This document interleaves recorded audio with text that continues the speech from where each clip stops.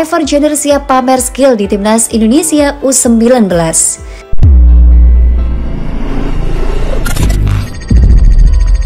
Calon pemain naturalisasi timnas Indonesia, Ivar Jenner ingin membuktikan skill dan kemampuannya mengolah bola di depan fans timnas. Gelandang klub Utrecht U21 itu tak sabar ingin segera melihat Garuda di dadanya. Ivar diproyeksikan sebagai anggota skuad timnas Indonesia U19. Tim Garuda Nusantara akan tampil di Piala Asia U20 2023 pada 1 hingga 18 Maret 2023 dan Piala Dunia U20 2023 yang akan digelar di Indonesia 20 Mei hingga 11 Juni 2023. Pemain kelahiran 10 Januari 2004 itu bertekad terus mempersiapkan diri dengan baik agar siap jika waktunya datang untuk membela timnas Merah Putih U19 asuhan Sintayong.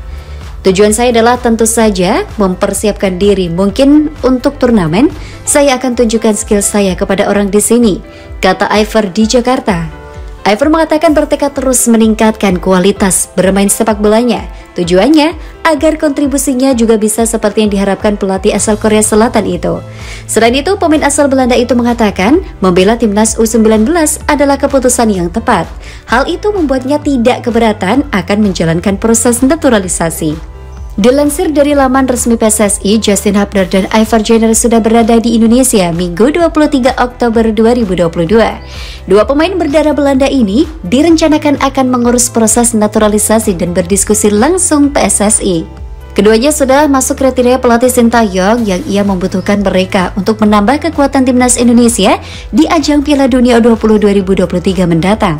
Saat ini Garuda Nusantara sedang berada di Turki untuk menjalani pemusatan latihan sekaligus sejumlah uji coba. Garuda Nusantara juga akan TC di Spanyol. Pemusatan latihan di Eropa ini direncanakan berakhir pada 4 Desember mendatang.